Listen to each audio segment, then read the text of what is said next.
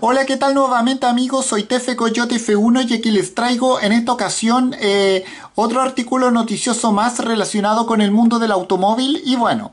porque como sabemos eh, la primera fábrica de combustible sostenible, o sea sintético en masa, estará lista para el año 2027 y bueno,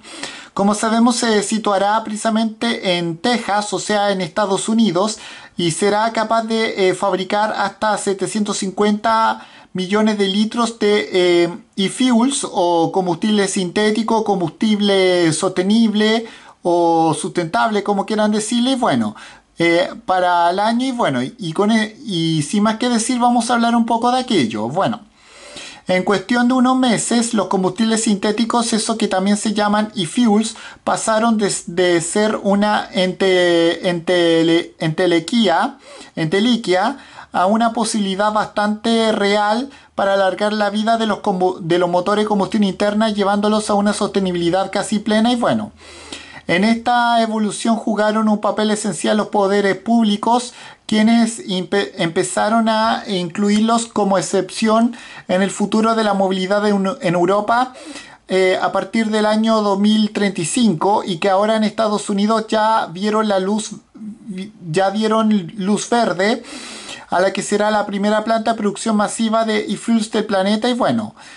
eh, esta, esta, factoría estará, va a estar ubicada en la zona de Matagorda, precisamente al sur del estado estadounidense Texas. Su construcción comenzará el año siguiente y estará lista para el año 2027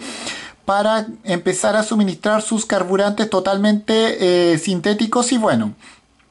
La futura planta es el nuevo proyecto de HIF Global, esta empresa que ya tiene eh, junto a Porsche una, una instalación para producir eh, una eh, instalación de producción experimental precisamente acá en Chile, precisamente en la región, en la región de Punta Arenas. Va a realizar una inversión de 6 de mil millones de dólares para establecer en suelo norteamericano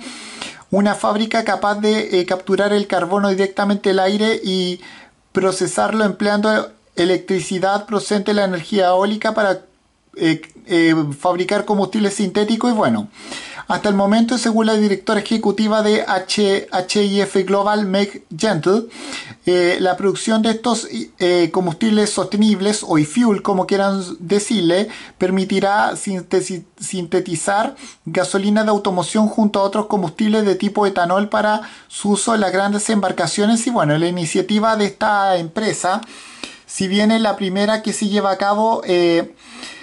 con una intención de producción masiva no es más que un pequeño primer paso. Eh, en su comunicado, la empresa calcula que eh, su producción anual de 750 millones de litros alimentaría hasta 400 mil hasta 400.000 máquinas,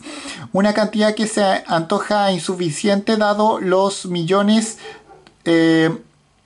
de ellos que cada día circulan por el planeta entero y bueno,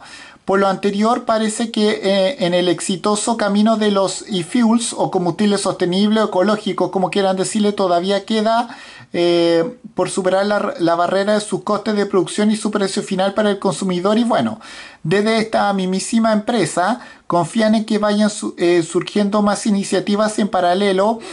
eh, que contribuyan a crear un mercado para estos combustibles sostenibles con precios más cercanos a lo que se están acostumbrados a pagar en las, en las bencineras. Y bueno, y con esto me despido. Adiós, que me fuera. Chao.